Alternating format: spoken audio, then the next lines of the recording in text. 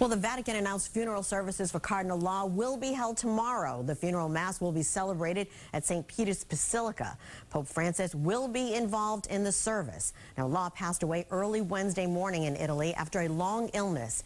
He resigned as the head of the Boston Archdiocese in 2002 amid revelations he knew about abuse by priests and helped cover it up. He was then moved to Rome, where he served as archpriest of the Vatican Basilica until he retired in 2011. This morning, the Pope released a statement about Cardinal Law's death.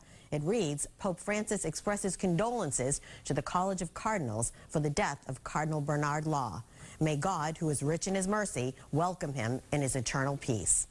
Cardinal Sean O'Malley, who currently heads up the Boston Archdiocese, addressed Law's death in a message to the sexual abuse victims. It read, I recognize that Cardinal Law's passing brings forth a wide range of emotions on the part of many people.